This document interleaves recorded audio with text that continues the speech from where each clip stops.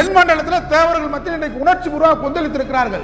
மக்கள் மத்தியில் இவங்கெல்லாம் காசுக்காக போற நாய்கள் எச்சுக்கா நாய்கள். எடப்பாடி போட்ட எலும்பு துண்டுக்காக நாளை மந்திரி பதவி கிடைக்கும் இருக்கிற எச்சுக்கல்ல நாய்கள் இந்த நாய்கள்.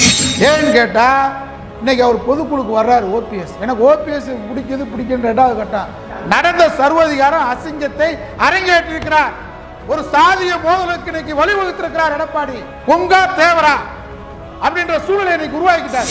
இவன் கோலையின் கடைசி ஆயுதம் ஜாதி. பெரியார் சொன்ன மாதிரி. இவன் அந்த சாதியை பயன்படுத்தி துரோகத்துடைய உச்சம் எடப்பாடி.